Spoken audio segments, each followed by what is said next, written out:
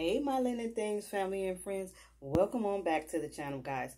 Y'all, I'm stopping in because remember I told you guys, you know, I'm going to give you a little picture of what I do with the pegboard. Well, y'all, I got an awesome, awesome idea of what to do with that pegboard. So I had to come to y'all. I got to show y'all this really quickly. I got this idea watching um, Bargain Bethany. Oh, my goodness. She did so many amazing things with these pegboards. But let's watch and see what I do with this one. So first, guys, I was doing something all wrong when I was showing you guys, you know, how to install it. So these little circles here at the bottom, they're supposed to be at the bottom, guys. So I was putting it in wrong, but this, as you can see, is how it is sitting up. So we're going to get ready to put our little sticky backs on the back here, and we're going to stick this to the wall. Okay, guys, so it's a double sticky. I'm taking it off. And then you're going to stick that onto your square like so and then you're going to take off the other paper on this side and as you can see it's clear guys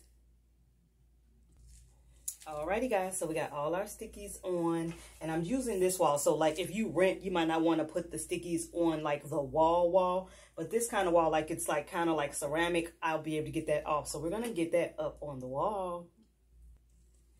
Yay, guys. So there you go. And now we're going to insert our other shelf. I kind of want it to be a little high so that I can put some different things up here. So we're just going to insert this this way. Bam.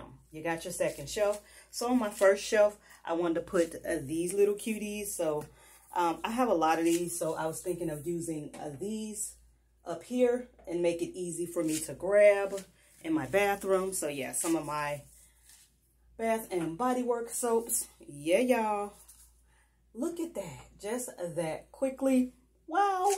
And then I like to put some other little things like maybe some facial cleaners here. Again, to make it easier to get my hands to these things. Y'all, I am loving this. So we got some facial cleansers, facial hydration. And then, yeah, we can add in some little deodorants or something up there. And just that quickly, guys, we have some organization going on in the bathroom. Y'all, I'm going back to Dollar Tree.